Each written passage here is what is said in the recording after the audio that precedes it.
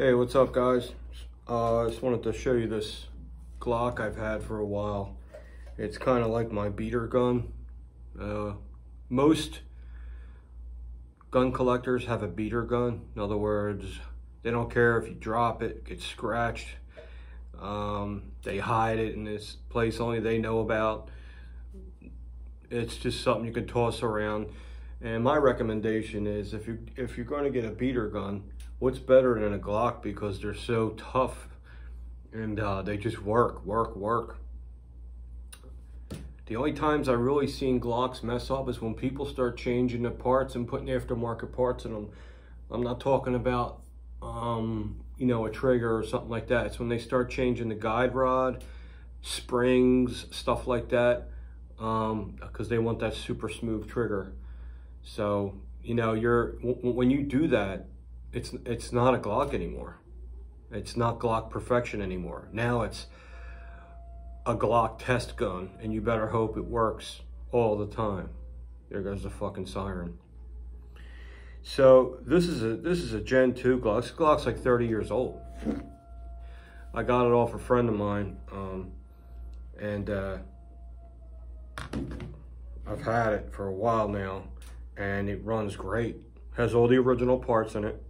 All the serial numbers match and everything. 30 years old. 30 years old. The finish is all coming off. It's all beat up looking. And it's a Gen 2. Because you could, Gen 2 doesn't have finger grooves. HSTs, it runs them great. So, I mean, runs modern ammo perfectly.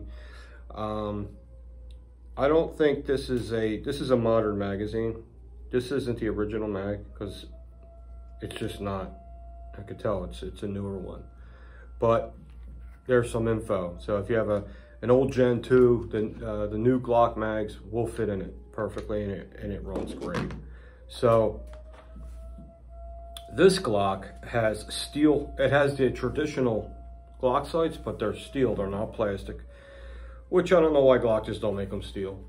I know they I know they think people just automatically change them because a lot of people do.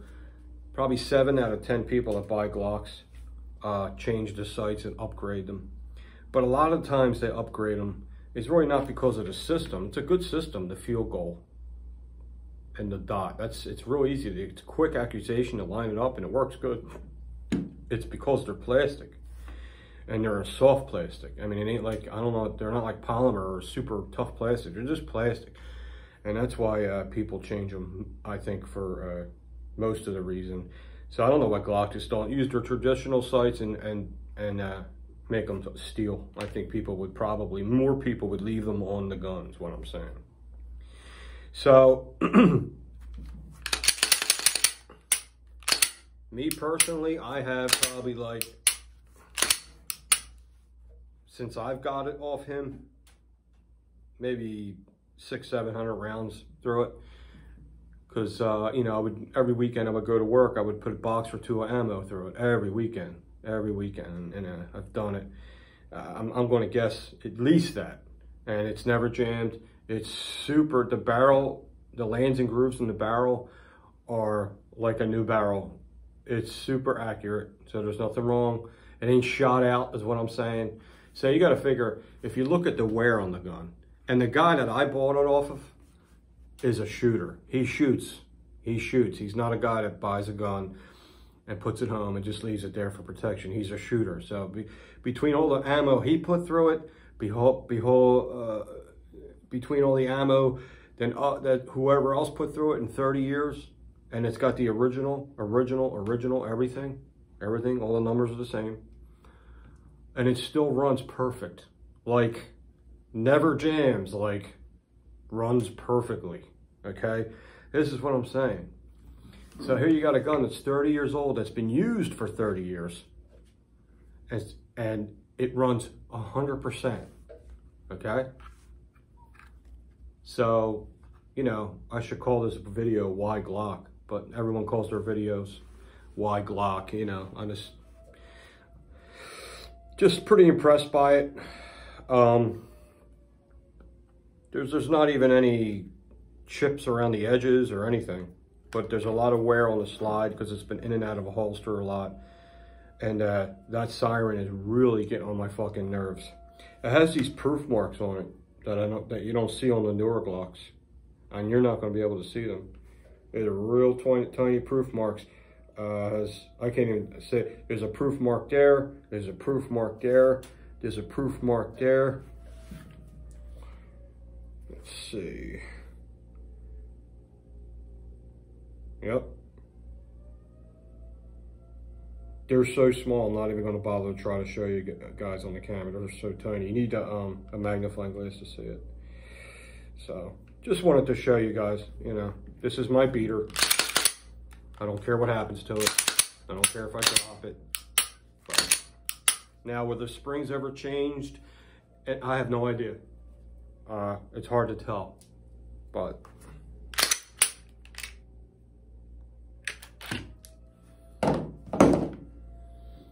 You can't tell by looking at them. All I can all I can say is the springs feel strong. So I'm I'm going to guess. Uh, I'm looking at it now. I don't see any modifications or aftermarket parts in it. No, the original plunger. Definitely the original barrel. We know that. Uh, there might this might be a new recoil spring because it feels pretty strong. I'm going to say it is. Uh, if it was the original spring, I would think after 30 years it would it would be feel kind of weak by now because like I said, this gun was shot. Um, looks like, from the look of that, it looks like there was a connector put in it, which I have no problem with that. I just don't like when they change springs.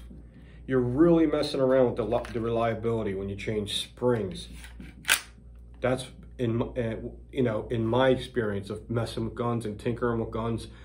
When you change the springs, make sure you test that son bitch, man. Make sure you put like you know, three, 400 rounds before, uh, you know, before you start carrying it. You, you know, there's no reason to change a spring, really.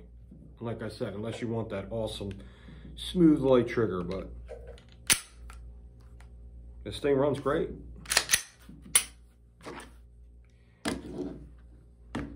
So, just wanted to show you that. I think I've never showed that before. I'm trying to find everything wrong with it. Uh, back here, there's a pin back here. It's, it looks like it's oversized. So what I'm thinking is somebody put one of those uh, beaver tail grips on there and put didn't put the original pin back. And then they then they sanded this down to try to fit the gun. But that's that's that's not gonna hurt a damn thing. Actually, it's very tight. It's not going anywhere. You see how it sticks out a little bit on each side? So that was replaced. So somebody monkeyed around with it a little bit, but it's pretty much 99.9% original. So there you go. A Glock 19, 30 years old, well shot, and it's still accurate as hell. It runs like a top. Barely has any. I barely oil it. I just take it out. Not now because you can't shoot anywhere, but I used to just bring it to work and just take it out and shoot it because that's the kind of gun it was. It was a gun, it was an emergency gun. That's what it is. So I wanted to uh, uh, operate it like that. I didn't want to oil it first, condition it first, then go shoot it. No, I just wanted to pull it out of my bag, go in the range and empty a mag and make see how it would run and if it would jam or hang up or get seized, you know, anything weird would happen and nothing, nothing. It ate them up and spit them out. So very impressed with this. So there it is, the Gen 2 Glock. I don't have the exact year. My buddy that sold it to me has the exact year. He knows the exact year. I forget what it is, but I know it's 30 years old. If you want to know, you just if you want to know when your gun was made, you just punch the serial number. You have to go to the site and then you punch the serial number in that site. I don't know what it's called. You have to Google it and it'll tell you exactly when your gun was made for most manufacturers. So that's it. Uh, I shipped out some holsters today. Um, I'm pretty much all caught up. So I'm trying to get a Beretta 92X mold. Uh, I'm thinking about, I'm probably going to get that gun. Uh, I don't have my Beretta anymore and I want, I want to get that Beretta back in my collection. So I think I'm going to go with the 92X because it has a really slim grip. And um, I seen one in person and handled it from a friend of mine, and I really, really liked the way it felt. It definitely has a different feel than your typical Beretta 92, definitely.